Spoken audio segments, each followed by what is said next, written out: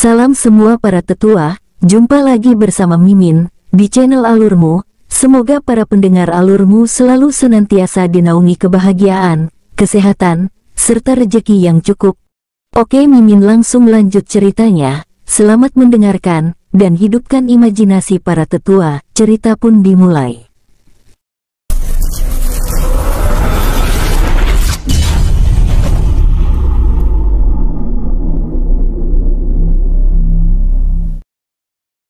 Sebuah kota berbenteng perisai transparan yang sangat luas, terhampar di puncak gunung mengambang, yang diterangi ribuan pilar kristal cahaya yang berdiri di setiap sudut kota. Sambil bergerak mendekati gerbang selatan kota, tidak lupa King Ruo mengingatkan Long Chen untuk menyamarkan tingkat kultivasinya. Pada saat mereka berdua tiba di depan gerbang selatan kota, dua prajurit berjubah perak menghampirinya, lalu melakukan pemeriksaan. Tuan-tuan, mohon identitasnya, ucap prajurit itu dengan ramah. Dengan segera Long Chen menunjukkan lencana klan Na, serta menjelaskan tujuan. Kedatangan mereka di kota itu. Setelah memeriksa identitas dan tujuan kedatangan King Ruo dan Long Chen di kota itu, prajurit tersebut lalu meminta mereka membayar biaya masuk sebesar 50 kristal jiwa abadi. Terima kasih, Tuan. Sambil mempersilakan King Ruo dan Long Chen memasuki dengan ramah. Terima kasih Tuan, ucap Long Chen sambil membawa King Ruo memasuki kota itu. Di dalam kota Tongze, pemandangan dan suasana kota ini begitu nyaman, bahkan aura spiritualnya begitu menenangkan, ucap Long Chen sambil melangkahkan kakinya dengan santai.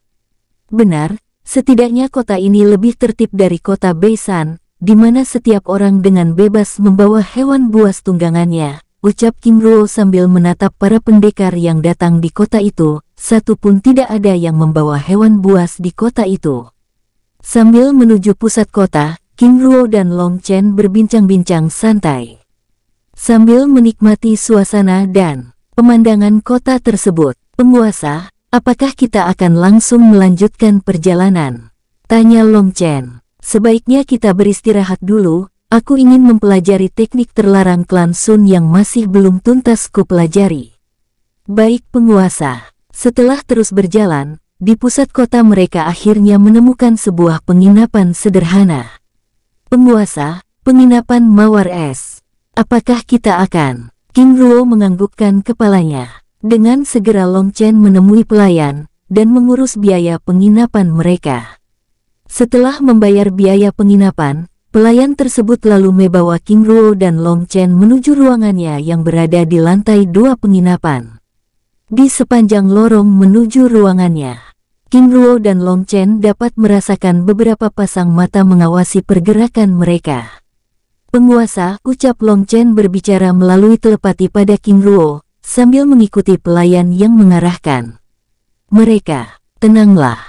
Mereka hanya para penjaga, ucap King Ruo. Tapi penguasa, aura ini.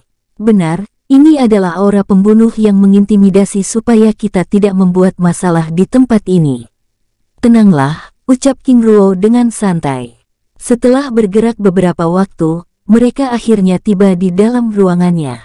Silakan tuan, ucap pelayan tersebut mempersilahkan King Ruo dengan ramah. Terima kasih Nona. Lalu memasuki ruangannya. Setelah mengantar King Ruo, pelayan itu lalu mengantar Long Chen menuju ruangannya, yang berjarak dua buah kamar dari tempat King Ruo. Di dalam ruangannya, setelah menyegel ruangan itu dengan mantra formasi perlindungan tingkat tinggi, King Ruo lalu merebahkan dirinya di atas tempat tidur sambil membiarkan aura spiritual yang ada di dalam ruangan memasuki tubuhnya. Setelah gagal beristirahat di kota Beisan, Akhirnya kesampaian juga, ucapnya. Setelah beristirahat selama dua jam, King Ruo lalu melanjutkan kegiatannya mempelajari teknik terlarang klan Sun.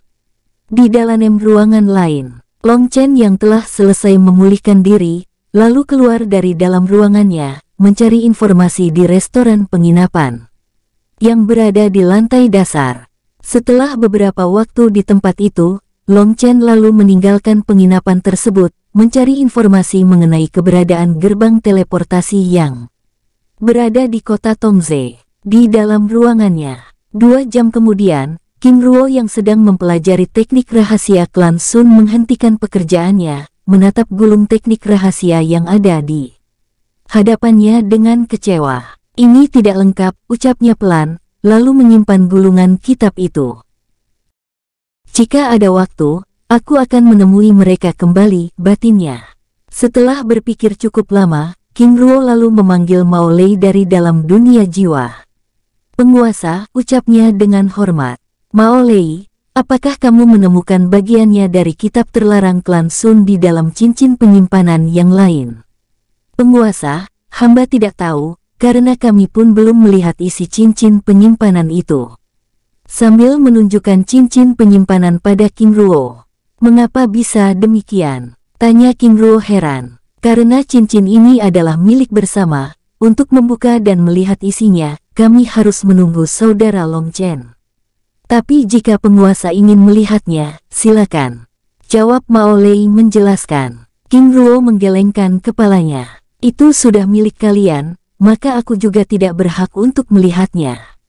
Begini saja, jika nanti kalian memeriksa isi cincin tersebut, aku hanya ingin kalian mencari bagian dari kitab teknik klan Sun yang tidak lengkap ini. Sambil menyerahkan gulungan teknik pada Mao Lei. Tapi penguasa, Cincin penyimpanan ini adalah milik Anda, ucap Mao Lei dengan serius. King Ruo menggelengkan kepalanya. Aku akan menunggu, ucapnya pelan, membuat Mao Lei terdiam. Baik penguasa. Alasannya King Ruo yang begitu ingin menguasai kitab tersebut adalah supaya dapat menaklukkan hewan buas tanpa harus menggunakan rantai jiwa dan memberikan kekuatan darahnya, karena setiap kali dirinya melepaskan segel rantai jiwa maka hal itu terus-menerus mengganggu pondasi kekuatannya. Setelah berbincang-bincang cukup lama, Kim Ruo lalu meminta Mao Lei berjaga di tempat itu. Baik penguasa, Sus, sosok Huo Dao muncul di dalam ruangan. Mao Lei, Dao, jika ada sesuatu yang mencurigakan, segera kabari aku. Baik penguasa, Negan hormat. Setelah berkata-kata, King Ruo lalu meninggalkan kedua hewan buas tersebut, lalu memasuki dunia jiwa. Sus, sosoknya lenyap di hadapan kedua hewan buas itu, dengan meninggalkan bola biru sebesar kepalan tangan manusia dewasa yang mengambang dan bergetar dengan lembut. Di dalam dunia jiwa, King Ruo lalu muncul di Istana Emas, menemui King Lian An dan King Ling Yang. Sedang beristirahat, kakak. Ucap King Ling menyambut kedatangan King Ruo dengan senyumnya yang hangat. Ling Er, bagaimana kabar An Er? Sambil menghampiri King Ling, memeluk dan mencium keningnya dengan lembut. Dia baik-baik saja. Lihatlah. Sambil menunjuk King Lian An yang tertidur pulas. Putri ayah, ucap King Ruo pelan. Mengecup keningnya dengan lembut, sambil memperhatikan wajah King Lian An yang sedang tertidur pulas. Setelah puas menatap wajah kecil itu, King Ruo lalu menghampiri King Ling dan duduk di sisinya. Ling Er, saat ini kita berada di kota. Tongze, ucap King Ruo sambil memulai perbintangannya, menjelaskan rangkaian peristiwa yang terjadi sejak mereka meninggalkan lembah utara Gunung Beitian. King Ling yang mendengar penjelasan King Ruo menganggukkan kepalanya, dan menatap lembut wajah sosok yang terus mengoceh di hadapannya. Semoga urusan ke utara ini berjalan dengan lancar, ucapnya pelan.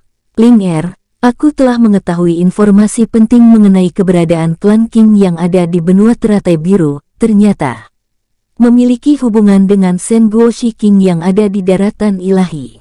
Benarkah? Dengan penuh semangat. Benar, jawab King Ruo sambil menjelaskan keberadaan leluhur King Feng Bao, yang merupakan putra dari leluhur Sen Guoshi King Kong. Feng Bao, yang merupakan putra dari leluhur Sen Guoshi King Kong. Ling Er, hingga saat ini aku masih begitu penasaran dengan identitas dirimu yang sebenarnya. Menatap King Ling dengan lembut. Maksud GG, Ling Er, aku tahu bahwa klan Duan dan klan Yin bukanlah asalmu, tapi ada klan. Sen Lan, ucap King Ling pelan. King Ruo menganggukkan kepalanya. Benar dugaanku. Itu berarti Senlan yang ada di benua teratai biru berasal dari daratan ilahi. Benar, tapi kakak, kita sama-sama lahir di benua teratai biru, jadi aku juga tidak tahu dengan jelas daratan ilahi. Apakah Ling Er tahu sejarah leluhur Senlan? King Ling menggelengkan kepalanya. Yang aku ketahui bahwa leluhur kami Sen Lantian adalah dewa besar yang meninggalkan daratan ilahi. Mengenai alasannya, kami bahkan tidak tahu sama sekali. King Ruo menganggukkan kepalanya. Dewa-dewa besar yang meninggalkan daratan ilahi, selalu merahasiakan identitas mereka, termasuk leluhur King Feng Bao. Bahkan leluhur Xin Fang Ye, Ling Er, jika diberi kesempatan oleh waktu, Aku juga ingin menemui klan utama leluhur di daratan ilahi ini. Tapi kakak, Ling Er, mereka juga adalah keluarga kita. Aku yakin para leluhur pergi karena masalah. Bukankah lebih baik jika kita memperbaiki sebuah kesalahan daripada semakin merusaknya? King Ling menganggukkan kepalanya, menatap King Ruo dengan lembut, kakak benar. Sambil berbincang-bincang santai, mereka berdua akhirnya terlelap. Menjelang pagi, King Ruo yang masih tertidur tiba-tiba terbangun, membuat King Ling yang berada dalam pelukannya juga ikut terbangun. Ling Er, maaf, ucap King Ruo dengan rasa bersalah. Kakak, ada apa? Ada yang mendekati kamar. Ling Er, aku pergi dulu, jawab King Ruo pelan. Kakak, berhati-hatilah, ucapnya lembut. King Ruo menganggukkan kepalanya pelan, mengecup kening King Ling dengan lembut lalu menghampiri King Lian An yang masih tertidur pulas. Aner, ayah pergi dulu, ucapnya sambil mengecup keningnya dengan lembut, lalu bergerak meninggalkan tempat itu. Sus, tubuhnya muncul di dalam kamar penginapan. Penguasa, ucap kedua sosok hewan penjaga itu dengan hormat. Mao Lei, Zhou Dao, terima kasih. Kembalilah ucapnya dengan ramah, sambil membuka gerbang dimensi dunia jiwa. Baik penguasa, baru saja Mao Lei dan Huo Zaodao kembali ke dalam dunia jiwa, beberapa aura mendekati kamarnya. Tuan, apakah Anda ada di dalam? Kami pelayan penginapan. Berbicara di balik pintu ruangan dengan hormat. Dengan tenang King Ruo lalu membuka pintu kamar dan menemui pelayan tersebut. Nona, ada apa? Tuan silakan keluar dan tinggalkan kota ini. Situasi di luar sedang tidak aman. Maksud Nona? Tanya King Ruo dengan heran. Tuan, Dewa Naga Es, hewan pelindung kota Tongze sedang murka, ucap pelayan itu menjelaskan. Baik Nona, terima kasih informasinya. Setelah mengabari King Ruo, kedua pelayan itu lalu menuju kamar lain, dan melakukan hal yang sama. Pada saat King Ruo hendak kembali ke dalam ruangannya, Long Chen tiba-tiba datang menemuinya. Penguasa, dengan tergesa-gesa, masuklah, ucap King Ruo sambil memasuki ruangannya. Long Chen, ada apa? Sambil duduk pada kursi ruangan. Penguasa, Dewa Naga Es pelindung kota sedang terbangun. Sebaiknya kita segera tinggalkan tempat ini, menatap King Ruo dengan serius. Alasannya, Dewa Naga Es adalah hewan buas yang sangat kuat. Menurut informasi yang aku terima, Hewan pelindung kota itu adalah hewan buas semi-abadi tingkat tujuh tahap akhir. Lalu apakah kamu tahu alasan mengapa hewan buas tersebut terbangun? Seseorang telah mencuri mutiara air tak berbentuk, ucap Long Chen. Mutiara air tak berbentuk, benar penguasa. Itu adalah mutiara suci, yang merupakan kekuatan sejati naga tertinggi yang telah mati, dan biasanya yang memiliki mutiara naga adalah para dewa naga. Ini sangat aneh, karena hal itu tidak tulis di dalam kitab gerbang sembilan naga. Long Chen terlihat sedikit terkejut saat King Ruo menyebut nama kitab tersebut. Matanya yang tajam menatap King Ruo dengan dekat. Penguasa, kitab gerbang sembilan naga. Benar, apakah ada yang salah dengan kitab tersebut? Itu adalah kitab kuno ras naga yang telah lama hilang. Akah Anda telah mempelajari kitab itu? King Ruo menganggukkan kepalanya, membuat Long Chen semakin penasaran. Apakah itu berarti penguasa tahu? Diriku. Sekali lagi King Ruo menganggukkan kepalanya. Benar, berdasarkan pembagian kekuatan yang ada, kalian para naga perak termasuk naga tingkat rendah, dan naga tinggi atau naga ilahi ditandai dengan kekuatan petir. Lalu apakah Dewa Naga Es? Itu termasuk naga ilahi. Penjelasan dan pertanyaan King Ruo membuat Long terdiam mematung, membuat tempat itu menjadi hening. Bi benar penguasa. Dewa naga es itu adalah naga ilahi. Menatap King Ruo dengan lekat, King Ruo menganggukkan kepalanya. Naga ilahi ternyata juga disebut dengan naga dewa, ucap King Ruo pelan. Penguasa, dengan wajah ragu, bicaralah. Apakah penguasa juga menguasai? Jurus-jurus yang ada di dalam kitab tersebut. Tentu saja, jawab King Ruo sambil menunjukkan tangan kanannya yang tiba-tiba memunculkan sisik emas. Tapak emas naga ilahi, ucap Long Chen takjub. Benar, selain itu ada jurus raungan naga dan yang terakhir, lilitan naga, ucap King Ruo menjelaskan. Penguasa, Anda benar-benar beruntung. Dengan menguasai teknik yang ada di dalam kitab itu, anda secara tidak langsung dapat menekan kekuatan para naga. King Ruo menganggukkan kepala. Aku bahkan sudah melakukannya. Beberapa kali dan itu terbukti, ucapnya. Penguasa, lalu di mana kitab jurus itu? Apakah aku bisa melihatnya? Long Chen, maaf. Kitab jurus itu sudah aku berikan pada putra pertamaku, King Zilong. Kitab jurus itu hanyalah gulungan bambu sederhana yang tersegel, ucap King Ruo menjelaskan. Baik penguasa, pada saat mereka sedang berbincang-bincang, tiba-tiba ruangan itu bergetar. Penguasa, sebaiknya kita segera pergi, ucapnya dengan khawatir. Long Chen, jika seperti ini, sangat mustahil seseorang dapat meninggalkan kota, karena penguasa kota pasti tidak akan membiarkan siapa pun pergi tanpa melakukan pemeriksaan terlebih dahulu. Benar penguasa, kita pasti akan mendapat pemeriksaan, tapi bukankah kita tidak melakukan kesalahan, apalagi mencuri?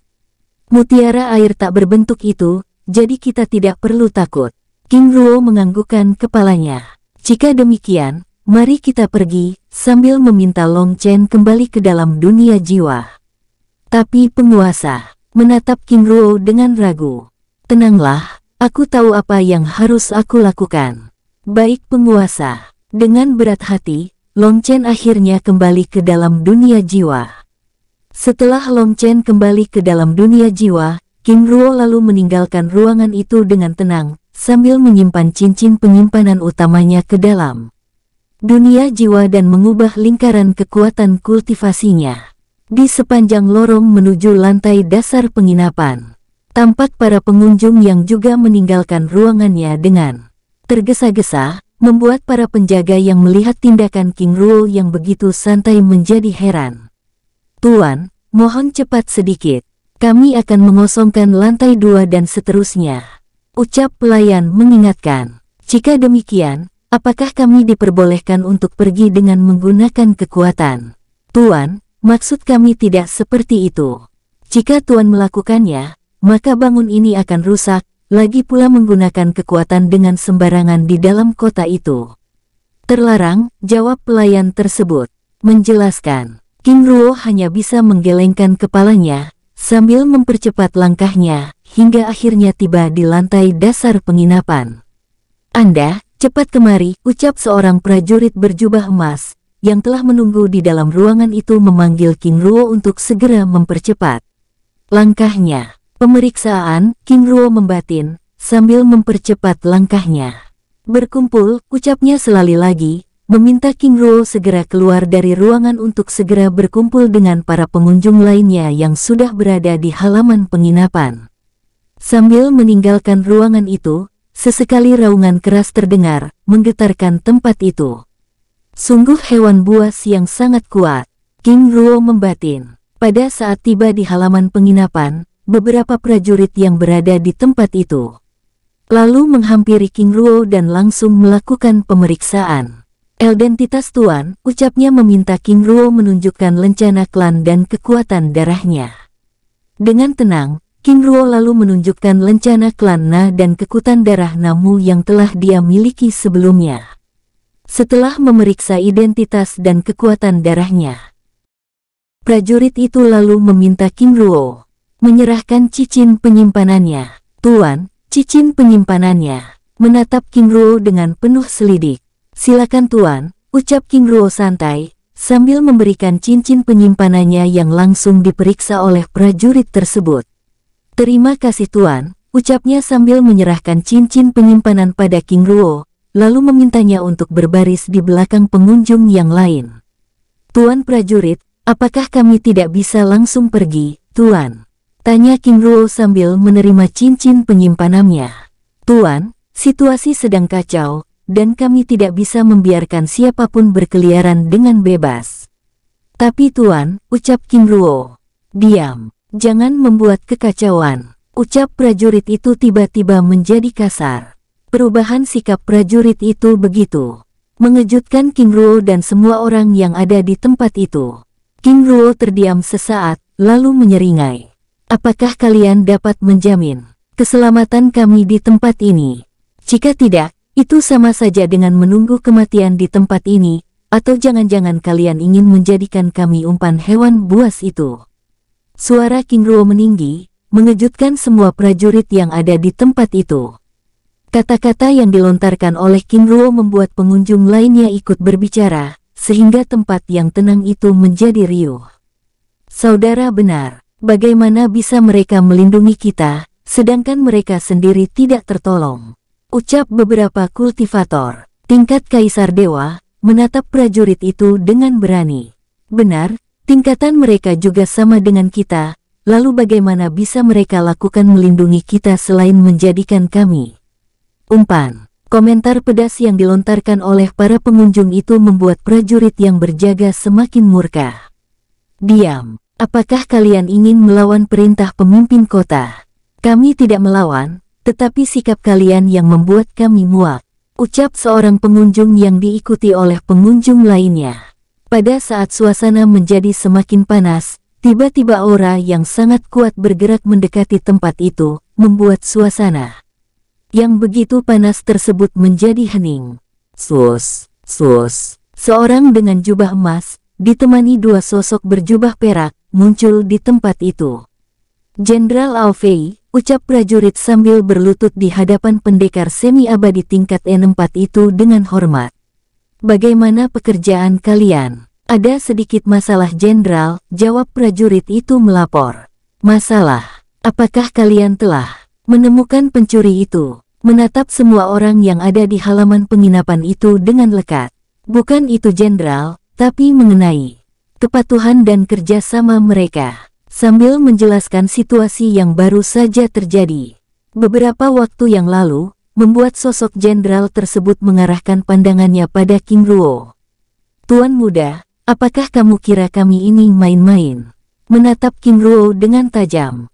Jenderal apakah kalian juga menganggap nyawa kami ini juga main-main? Kamu, ucap salah satu komandan yang berada di sisi Alfei, menatap King Ruo dengan gusar. Komandan, yang dijelas prajurit memang terjadi, tapi tidak sepenuhnya benar. Pada saat aku bertanya dengan sopan, prajurit, Anda malah menjawab dengan sangat kasar. Lagi pula apakah kalian bisa menjamin keselamatan kami? Jika tidak, maka biarkan kami pergi dan menyelamatkan diri masing-masing, ucap.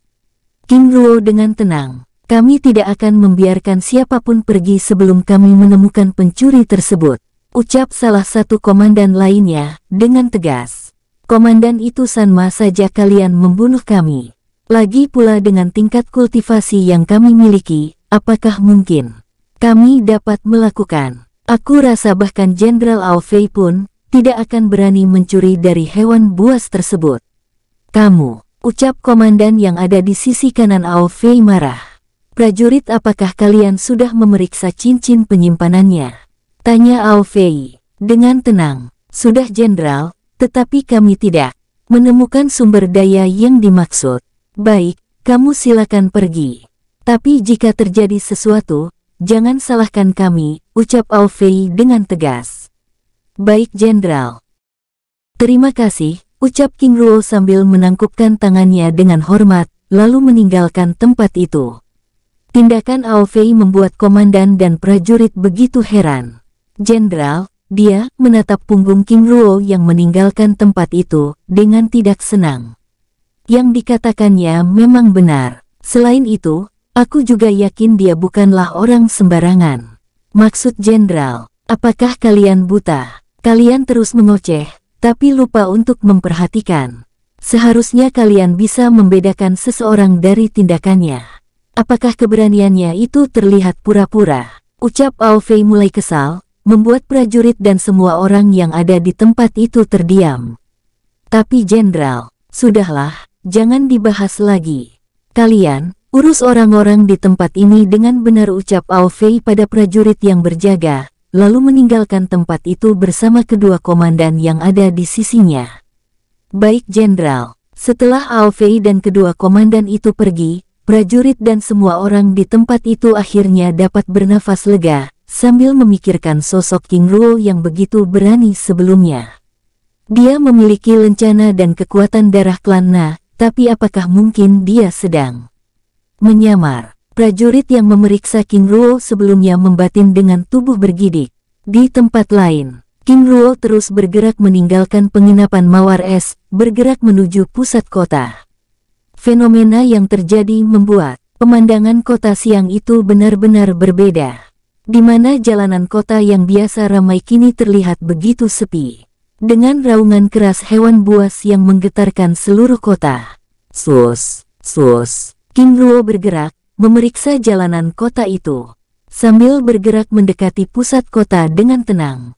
Naga bodoh, apakah dia ingin menghancurkan kota ini? King Ruo membatin kesal, sambil terus bergerak mendekati tempat hewan buas itu berada. Pada saat terus bergerak, tiba-tiba King Ruo merasakan beberapa aura bergerak mengikutinya. Sepertinya prajurit kota, batinnya sambil terus bergerak tanpa menghiraukan keberadaan sosok yang mengawasi pergerakannya. Setelah bergerak sepanjang cukup lama, King Ruo masih belum juga tiba di pusat kota, sedang sosok yang mengawasi pergerakannya semakin banyak. Benar-benar kota yang sangat luas. Batinnya, pada saat mendekati pusat kota, King Ruo merasakan ledakan aura hewan buas yang sangat kuat. Sangat mengerikan. Batinnya, sus sus, aura kuat bergerak mendekatinya dengan ekstrim. Aura ini, King Ruo membatin, mengenali aura tersebut. Sus sus, sosok Alfei dan kedua komandannya, muncul di sisi King Ruo dan mengapitnya. Tuan muda, Anda memasuki kawasan terlarang. Jadi tolong berhenti, ucap Alfei. Dengan suara tajam, membuat King Ruo menghentikan pergerakannya. Jenderal, apakah kalian telah menemukan pencurinya? Tanya King Ruo dengan santai. Pertanyaan King Ruo membuat Alfei terdiam. Tuan, apakah Anda pikir menangkap pencuri itu mudah? Aku hanya bertanya. Lagi pula aku tidak mengatakan bahwa menangkap pencuri itu mudah. Lalu apa maksud Anda menanyakan hal itu? Jenderal, mana yang lebih mudah? Menangkap pencuri itu atau menenangkan naga yang sedang murka tersebut? Pertanyaan King Ruo membuat Alfei dan kedua komandan itu saling berpandangan. Tuan benar, tapi bagaimana caranya?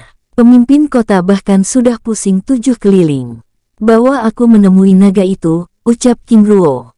Tapi tuan, ucap Alfei, menatap King Ruo dengan ragu. Jika tidak mencoba, bagaimana kalian bisa tahu, ucap King Ruo santai.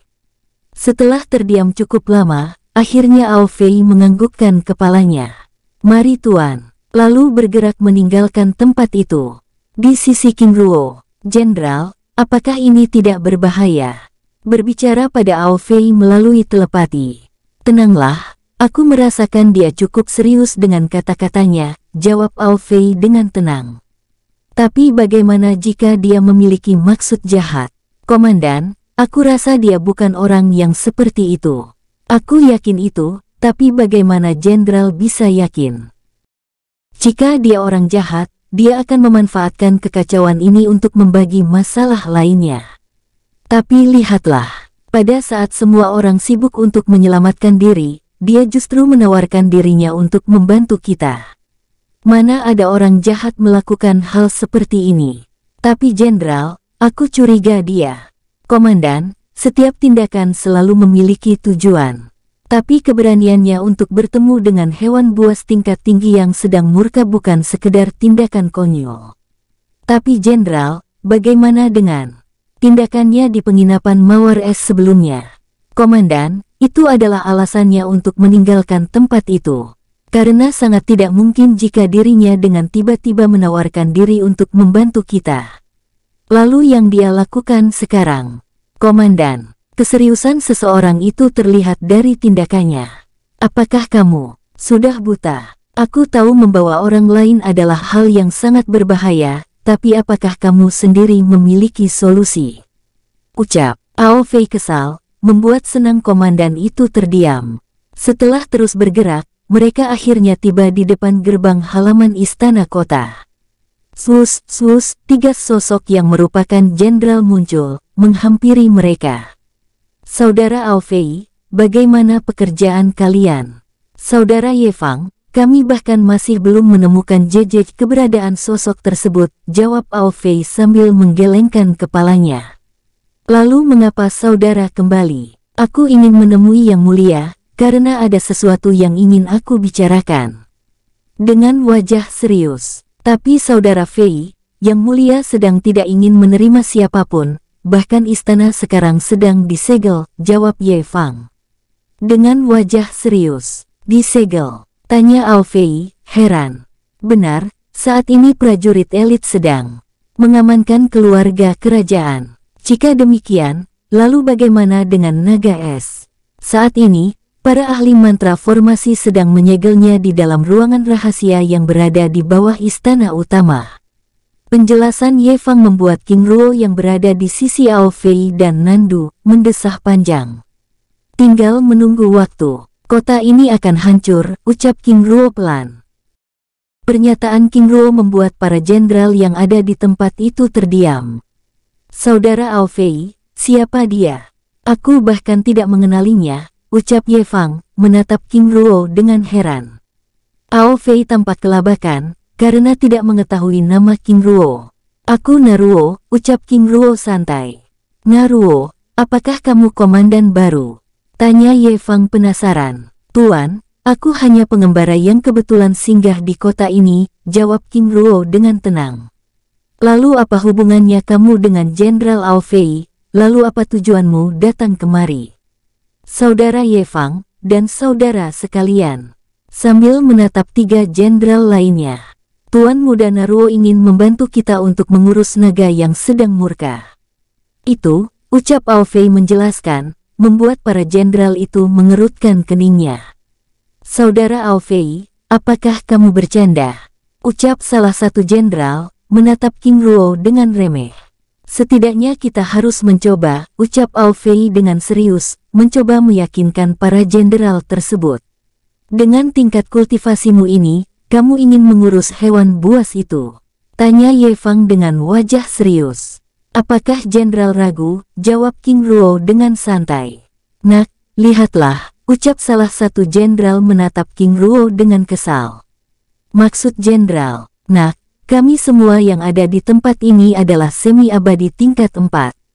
Kami bahkan tidak berani mendekati hewan buas itu. Apalagi kamu yang hanya di tingkat kultivator kaisar tahap dasar, ucap seorang jenderal sambil menggelengkan kepalanya. Naruo, sebenarnya aku begitu penasaran dengan pernyataanmu yang mengatakan kota ini akan hancur. Dari mana kamu bisa menyimpulkan seperti itu? Tanya Ye Fang dengan serius. Jenderal, naga pada dasarnya adalah makhluk bebas yang memiliki kekuatan yang sangat luar biasa. Setelah dirinya kehilangan sesuatu yang sangat berharga, dan diperlakukan seperti itu, apakah dia tidak marah? Jangankan naga es, Anda pun juga tidak ingin diperlakukan seperti itu. Apakah Anda tahu alasannya dia bisa berada di kota Tongse ini? Penjelasan King Ruo membuat semua orang yang ada di tempat itu terdiam. Dan pertanyaan King Ruo membuat mereka semakin penasaran. Naruo, mohon penjelasannya, ucap Ye Fang. Jenderal, para naga yang keluar dari dunia mereka, itu karena dua alasan. Pertama karena mereka membawa misi, dan kedua, ucap King Ruo menjeda kata-katanya, membuat para jenderal itu semakin penasaran. Naruo, ucap komandan pasukan yang berada di sisi Fei menatap King Ruo dengan tajam karena menghentikan. Penjelasannya, bisa saja naga itu adalah penjahat yang melarikan diri dari dunia mereka. Jika penguasa kota melarang kita untuk menemuinya, maka mari kita tunggu sampai kapan segel itu mampu menahannya, ucap Kim Ruo membuat wajah para jenderal itu pucat pasi. Naruo, apakah kamu benar-benar punya cara? Tanya Ye Fang dengan serius. Jiak tidak mencoba, bagaimana kita bisa tahu, jawab Kim Ruo dengan tenang. Jika demikian, mari, ucap Ye Fang. Bergerak, sambil membawa King Ruo dan Ao Fei meninggalkan tempat itu. Saudara, tetap berjaga dan jangan tinggalkan tempat ini, ucap Ao Fei pada jenderal lainnya sambil bergerak mengikuti. King Ruo dan Ye Fang yang mendahuluinya. Sus, sus, tiga kilatan cahaya kemasan bergerak memasuki kawasan istana bagian dalam, membuat dua tetua yang berjaga di halaman istana begitu kesal. Ao Fei, Ye Fang, apa yang kalian lakukan? Sambil menatap King Ruo yang ada di antara kedua sosok itu dengan tajam. Tetua, kami ingin menemui Yang Mulia. Ada yang ingin kami bicarakan, ucap Ye Fang dengan serius. Apakah kalian telah menemukan mutiara air tak berbentuk itu? Tetua, tidak semudah itu, bahkan jika kita membalikan kota ini, ucap Fei dengan serius. Jika demikian, lalu mengapa kalian kembali? Tetua, ini sangat penting. Mohon buka gerbang bawah istana sekarang juga, atau kita akan benar-benar terlambat dan...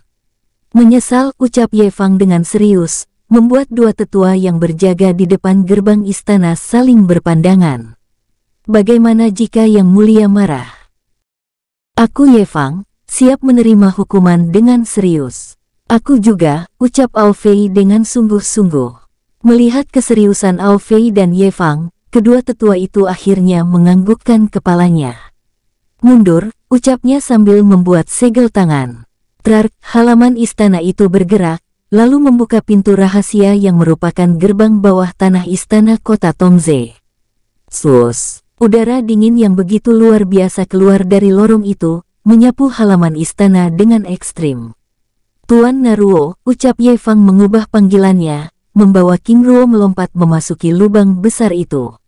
Baik, jawab King Ruo sambil melompat mengikuti Ao Fei yang telah mendahuluinya.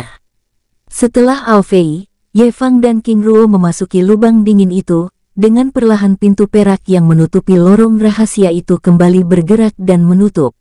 Semoga saja Yang Mulia tidak murka. Aku harap juga demikian. Tapi aku, penasaran dengan sosok pemuda yang ikut bersama Ao Fei dan Ye Fang sebelumnya.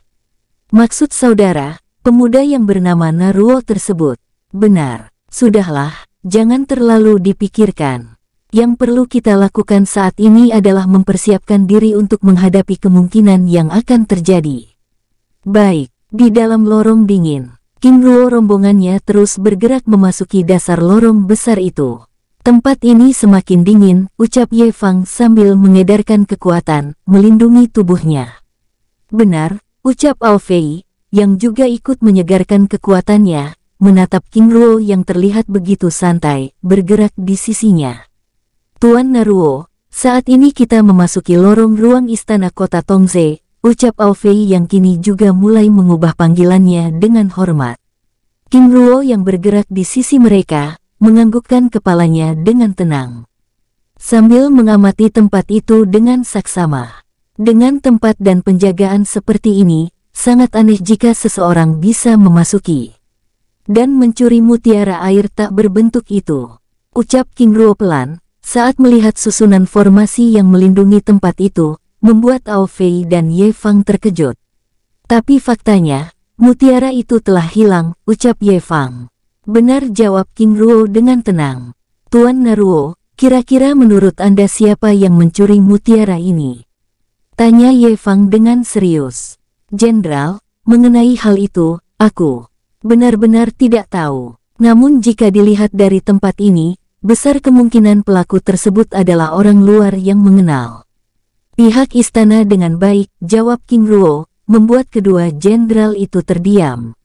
Mengapa bisa demikian? Tanya Ye Fang. Menurut jenderal, apakah ada seseorang dari pihak istana yang berani memasuki lorong rahasia ini dan mengambil sesuatu yang sangat berharga seekor naga? yang merupakan hewan buas semi-abadi tingkat tujuh tahap akhir. Tuan Naruo benar, 700 meter kemudian, mereka akhirnya tiba di dalam ruangan yang sangat besar, dengan seekor naga berwarna putih dengan tanduk es yang sesekali memunculkan petir kecil, terkurung dalam perisai emas transparan yang dikelilingi oleh tujuh tetua. Roar, raungan keras naga es tersebut yang sedang berusaha melepaskan diri dari tempat itu. Sus, sus. Ao Fei dan Ye Fang membawa King Ruo turun di hadapan seorang pria parubaya yang menatap kedatangan mereka dengan tajam. Yang mulia Luzun, ucap Alfei dan Ye Fang berlutut dengan hormat, sedangkan King Ruo tetap berdiri dengan menangkupkan tangannya dengan hormat. Bicaralah. Dengan tegas, menatap King Ruo dengan tajam. Yang mulia, Tuan Naruo ingin berbicara dengan Anda, ucap Alfei dengan hormat. Yang mulia Luzun, aku hanya ingin berbicara dengan naga es tersebut, ucap King Ruo dengan tenang sambil menatap naga es yang terus meraung murka. Bicara, mengerutkan keningnya. Benar yang mulia. Jika demikian, silakan. Baik yang mulia, terima kasih, tapi aku ingin yang mulia melepaskan segel perisai emas itu, ucap King Ruo dengan serius.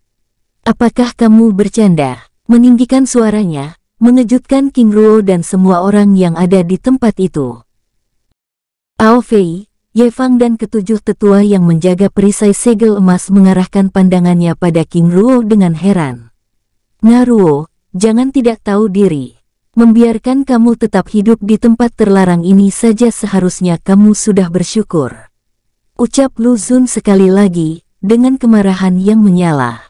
Yang mulia, apa? Apakah kamu pikir naga es itu sedang bercanda? Sekarang pergi dan tinggalkan tempat ini, atau aku akan membunuhmu. Yang mulia, pergi, teriaknya keras, sambil melepaskan tamparan, namun dengan segera dihindari oleh King Ruo.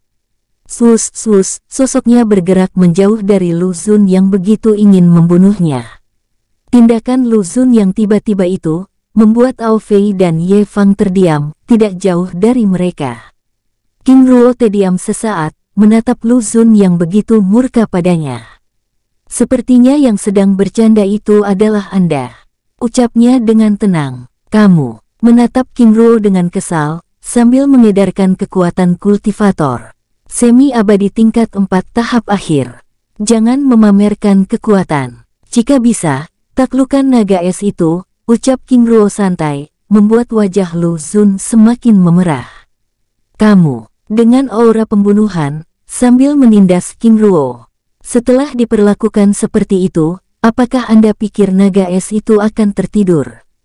Naif. Kalian semua yang ada di dalam ruangan ini hanya menunda waktu saja, karena pada saat perisai segel emas ini hancur, maka bersiaplah kalian akan hancur bersamanya. Ucap King Ruo dengan dingin, membuat semua orang yang ada di dalam ruangan itu terdiam, bahkan Lu Sun yang masih begitu heran saat King Ruo mampu menghindari tamparannya, bahkan tidak terpengaruh oleh aura penindasannya.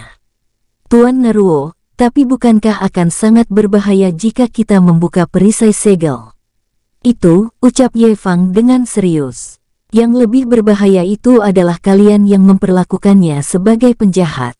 Jika ingin berbicara padanya, tunjukkan keseriusan kalian dengan memberikan ruang, kebebasan dan rasa percaya padanya. Kata-kata King Ruo sekali lagi menohok mereka, membuat Lu Zun merasa malu sendiri, bahkan Ye Fang terdiam. Di dalam ruangan itu, raungan keras naga es itu semakin menggila, bahkan membuat perisai emas transparan yang merupakan segel ruang itu kadang retak, membuat para tetua yang menjaga segel mantra formasi itu begitu kewalahan. Tuan Naruo, mohon tidak menganggap tindakan dan kata-kata yang mulia dengan Serius, Tuan harus memaklumi bahwa situasi seperti ini kadang menguras emosi. Jadi jangan diambil hati. Fokus utama Tuan saat ini adalah menenangkan naga es. Tersebut, ucap Fei berbicara pada King Ruo dengan hormat. Jenderal Fei benar. Mohon Tuan Naruo tidak mengambil hati. Ye Fang menimpali. King Ruo tersenyum santai. Jenderal Fei, Jenderal Ye Fang. Aku bisa terima apa pun yang dia katakan padaku, apakah memarahiku, terserah. Tetapi tidak dengan tindakannya yang ingin membunuhku. Sebagai seorang raja, seharusnya dia dapat berpikir dengan jernih. Apalagi dalam situasi yang genting seperti ini, karena kejernihan pikiran adalah hal yang utama, karena dengan demikian barulah seseorang dapat berpikir dengan baik untuk mencari solusi. Tapi Tuan, ucap Ye Fang.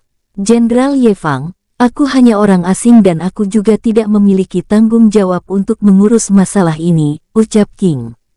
Ruo dengan santai, membuat kedua jenderal itu terdiam.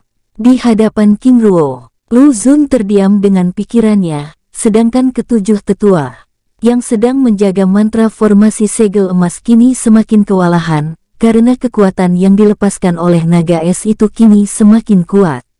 Brar, perisai emas transparan itu retak, membuat salah satu tetua penjaga segel yang merupakan semi-abadi tingkat empat terlempar.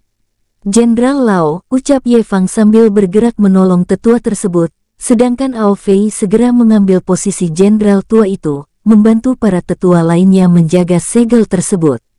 Brar, sekali lagi hantaman keras sang naga membuat retakan pada dinding, dan melempar salah satu tetua lainnya. Ngaung, ngaung, roar. Raungan keras naga es memekakan telinga, bersamaan hawa dingin yang luar biasa menyapu seluruh ruangan. Sus, Ye Fang bergerak mengganti posisi tetua tersebut. Keberanian dan kepedulian Ye Fang dan Ao Fei yang begitu tulus, menggugah perasaan King Ruo. Kekesalannya pada sang raja sedikit mencair. Benar-benar tidak tahu diri. Ucapnya kesal, tiba-tiba melesat menuju perisai emas transparan tersebut. Sus tubuhnya, menembus perisai transparan tersebut, dan muncul di dalamnya, sambil melepaskan tinjuan tapak. Emas naga ilahi, duar, duar, gedebuk. Ledakan keras bergema, dengan tinjuannya menghantam kepala naga es tersebut dengan telak, mendorong sang naga hingga menghantam dinding perisai transparan. Tindakan King Ruo yang begitu tiba-tiba itu, membuat Lu Zun dan semua orang yang ada di tempat itu hampir menjatuhkan rahangnya. Bah, bagaimana bisa dia melewati perisai emas, ucap Lu Zun dengan terbata, menatap King Ruo yang tiba-tiba ada di dalam perisai emas transparan tersebut. Tidak hanya itu, tindakan King Ruo yang langsung menyerang naga es secara langsung di dalam perisai, membuat mereka hampir tidak bisa bernafas. Di, dia kultivator tingkat tinggi yang sedang menyamar ucap Alfei dengan terbata. Saudara benar, ucap Ye Fang dengan mulut ternganga. Di dalam perisai transparan, roar, ngaung, raungan keras naga es hampir melempar sosok King Ruo yang tepat berdiri di hadapannya. Naga lemah, jangan tidak tahu diri. Apakah kamu ingin membunuh semua orang di tempat ini? Dengan kemarahan yang menyala, membuat naga es itu semakin murka. Lemah. Kamu bilang aku lemah. Benar. Kamu adalah naga lemah yang tidak tahu diri. Bagaimana bisa kamu murka pada semua orang tanpa menyadari kesalahanmu? Ucap King Ruo tajam. Tindakan King Ruo yang begitu berani, bahkan dengan lantang memprovokasi sang naga, membuat hewan buas yang melepaskan kekuatan es itu sedikit waspada, terlebih lagi rasa sakit yang masih berdenyut di ubun kepalanya. Aura lahi ini, batinnya, menantap King Ruo yang sangat kesal. Siapa kamu? Lalu apa urusanmu dengan masalahku? Jangan mengira bahwa dengan memiliki kekuatan darah naga kamu membuatku segan padamu. Siapa aku itu tidak penting. Kemarahanmu yang akan mencelakai banyak orang di kota. Ini, itu adalah masalahku. Jika kamu masih tidak bisa diam dan tenang, maka bersiaplah aku akan menguburmu di tempat ini. Ucap King Ruo dengan tatapan dingin, membuat semua orang yang berada di luar perisai emas transparan itu sekali lagi ternganga. Sang naga yang sebelumnya begitu murka, kini mulai menggila. Tidak tahu diri. Jika kamu ingin mati, maka bersiaplahlah. Roar, raungan kerasnya, bergema, bersamaan dengan ledakan aura semi-abadi tingkat tujuh tahap akhir yang mengedar dari tubuhnya. Naga lemah, keluar dari perisai emas ini saja kamu tidak bisa. Kamu pikir dengan kekuatan yang tidak seberapa itu kamu bisa membunuhku. Sungguh naif, ucap King Ruo dengan tatapan dingin, yang masih menunjukkan aura pendekar kaisar dewa tingkat dasar. Kata-kata King Ruo mengejutkan sang naga, yang baru menyadari bahwa mereka masih berada di dalam perisai transparan. Walaupun demikian, sang naga itu tidak menarik kekuatannya, bahkan mulai mengedarkan seluruh kekuatan puncaknya. Maju, tunjukkan kekuatanmu itu. Aku ingin melihat kehebatan sang Dewa Naga Es yang terkenal itu. Tantang King Ruo sambil melepaskan kekuatan petir abadi dari tubuhnya. Treng, treng. Ledakan petir hitam. Kemasan yang berderak-derak itu semakin membahak. Tidak hanya menyelimuti tubuhnya, tetapi tombak petir kini mulai terbentuk di tangan kanannya. Itu, ucap Ao Fei dan Ye Fang bersamaan dengan melototkan matanya. Tidak hanya kekuatan petir yang muncul, namun ledakan aura semi-abadi tingkat delapan yang tiba-tiba mengedarkan dari tubuhnya, membuat semua orang terdiam, bahkan membuat Lu Zun mulai membasahi dirinya. Jika dalam hitungan ketiga kamu tidak mau diam dan tenang, maka bersiaplah. Aku akan menghancurkanmu menjadi abu, ucap King Ruo dengan dingin. Melihat kekuatan sejati King Ruo dan ledakan aura semi-abadi tingkat delapan yang begitu mengintimidasi, membuat naga es itu kini menjadi bimbang.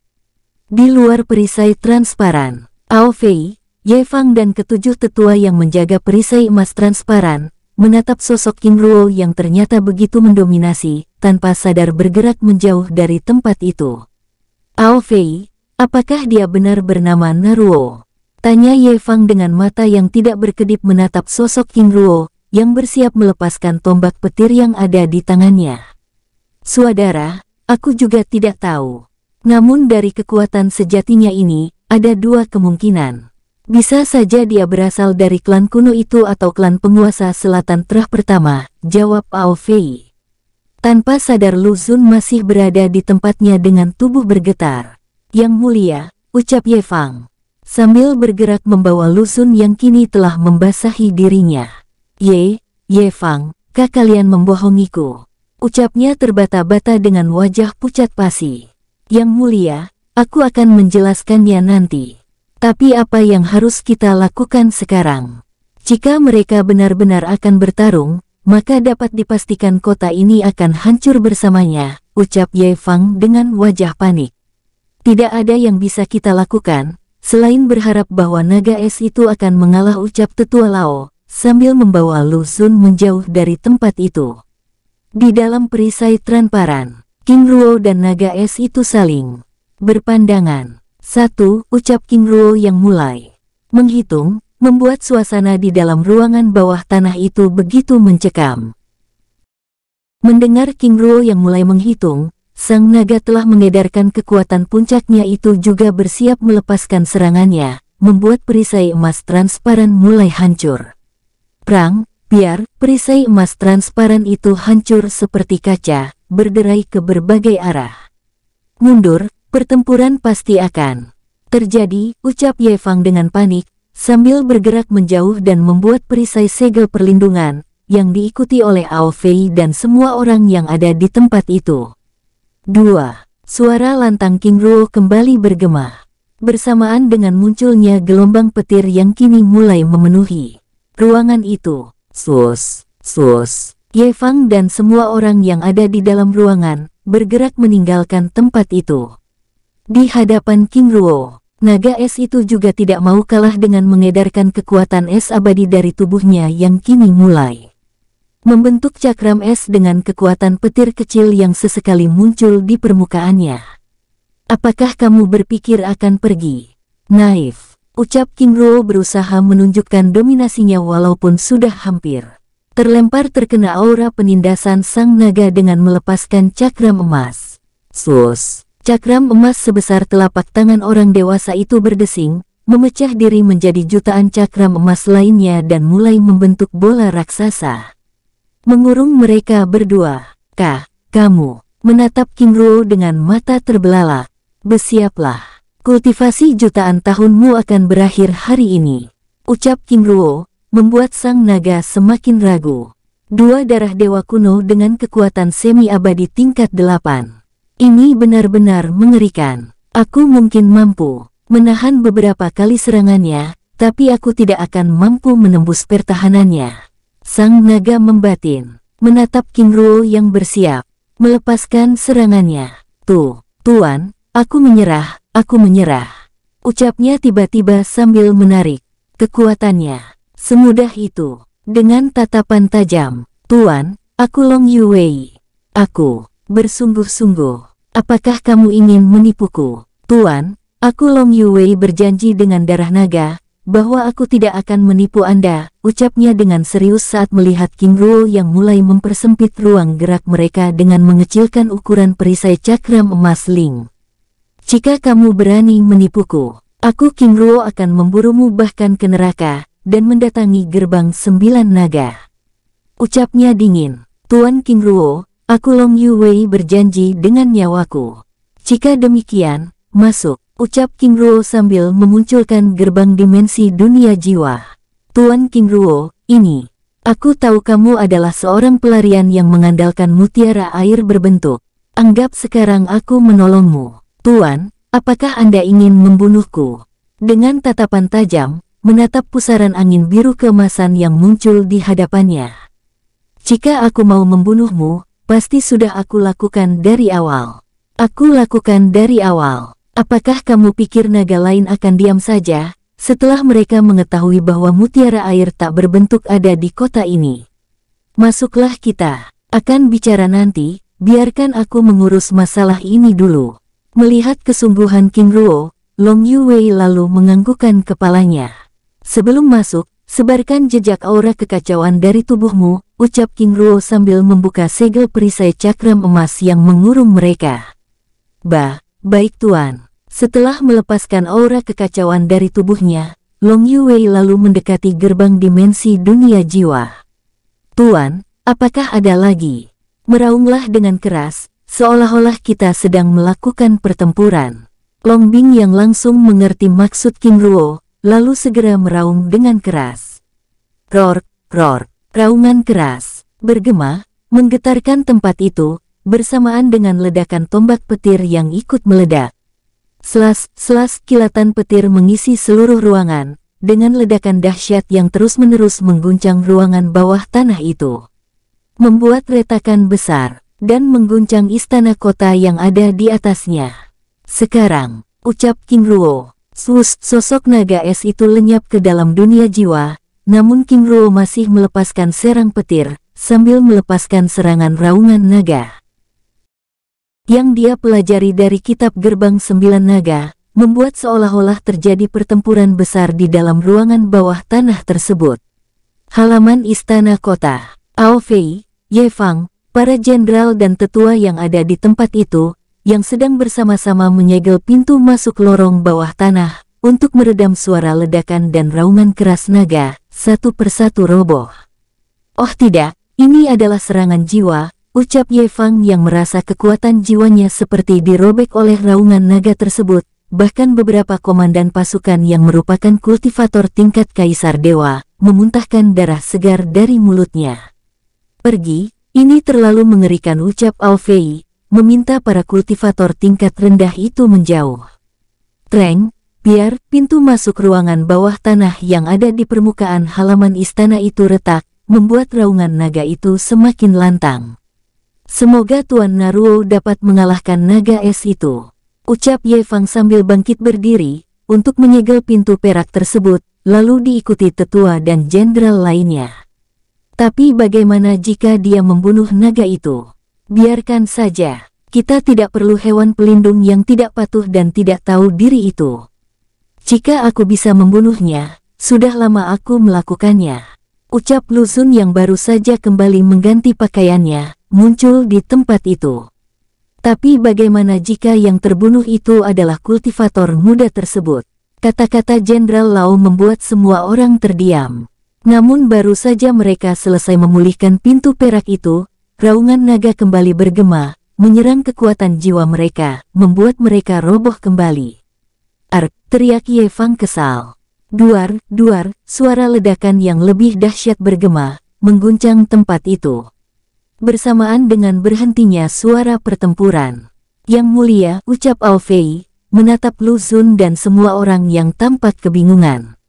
Apakah telah selesai? Tanya Lu Zun dengan heran. Saudara Alfei, apakah kita akan memeriksa? Ucap Ye ragu. Pada saat mereka sedang berunding, tiba-tiba ledakan keras sekali lagi bergema dengan sambaran petir yang merambat. Muncul di halaman istana, menghancurkan pintu segel, membuat Lu Zun dan semua orang menjauh dan menjaga jarak.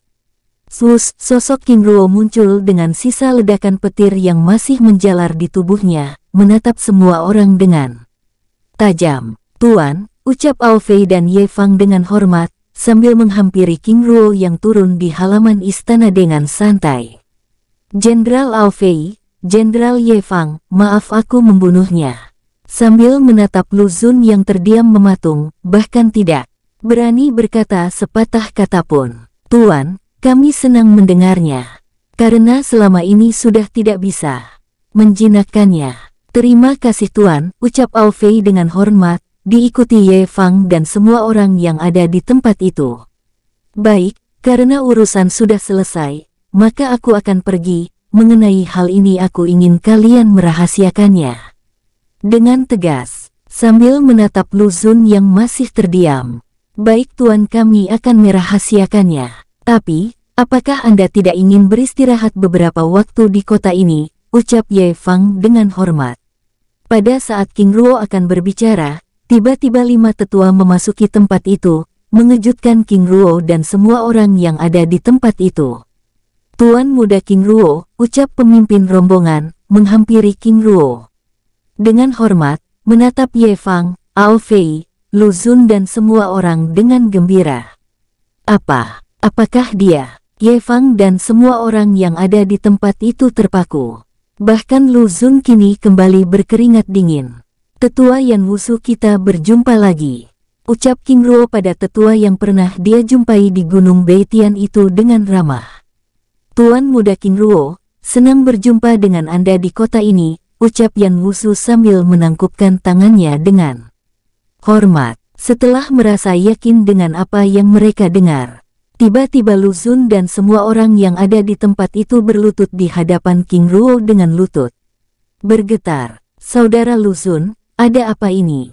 Tanya Yan Wusu dengan heran. Para jenderal, mohon untuk tidak melakukan hal seperti ini. Ucap King Ruo, sambil meraih bahu Ao Fei dan Ye Fang untuk berdiri.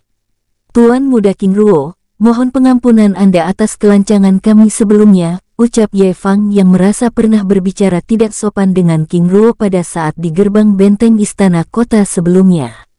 Apakah jenderal melakukan kesalahan? Tanya King Ruo dengan heran, membuat para jenderal itu terdiam, namun tidak dengan Lu Zun yang bahkan tidak berani mengangkat kepalanya. Sedangkan Yan Wuzu dan keempat saudaranya masih begitu heran dengan hal itu. Ao Fei, apa yang sebenarnya terjadi? Lalu bagaimana dengan naga es itu? Tanya Yan Wusu pada sang jenderal yang kebetulan ada di sisinya. Secara bersamaan, para jenderal dan tetua yang ada di tempat itu mengarahkan pandangannya pada King Ruo, membuat Yan Wusu dan rombongannya yang masih mematung itu ternganga.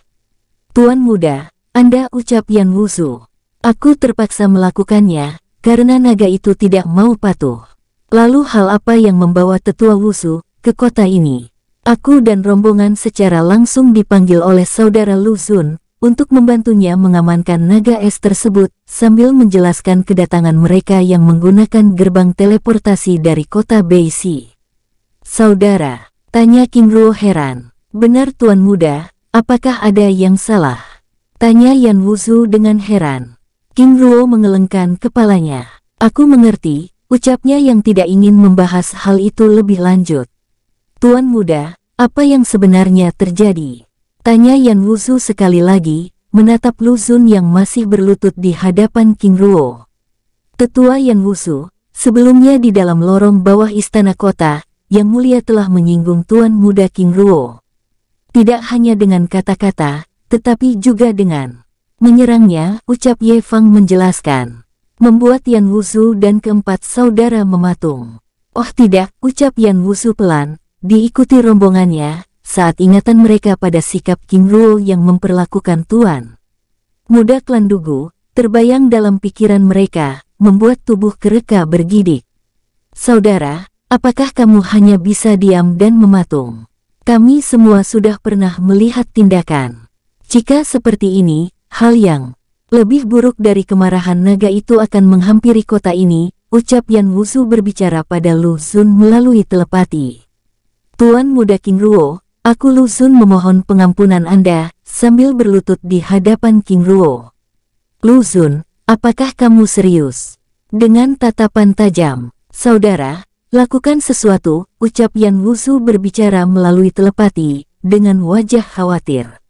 Tapi saudara, aku tidak tahu apa yang harus aku lakukan. Ingat dengan apa yang akan saudara lakukan pada Tuan King Ruo sebelumnya. Plak-plak, suara tamparan keras bergema. Di hadapan semua orang, Lu Zun terus menamparkan dirinya, membuat mereka semua terdiam. Lu Zun, jika aku mengabaikan tindakanmu yang ingin membunuhku sebelumnya, itu sama saja aku menciptakan masalah di masa depan. Membuat Lu Zun menamparkan dirinya semakin keras. Tuan Muda King Ruo, Apakah ini tidak bisa dimaafkan? Aku Yan Wusu akan menjamin bahwa hal ini tidak akan menjadi masalah di masa depan, berlutut di hadapan King Ruo dengan hormat. Tetua, ucap King Ruo sambil meraih bahu Yan Wusu dan memintanya untuk segera berdiri. Tuan muda, dengan tatapan memohon. Baiklah, ucap King Ruo, membuat Lu Zun yang telah membasahi diri, menghentikan tamparannya. Terima kasih Tuan muda, Ucap Yan Wusu berlutut, lalu diikuti oleh semua orang dengan hormat.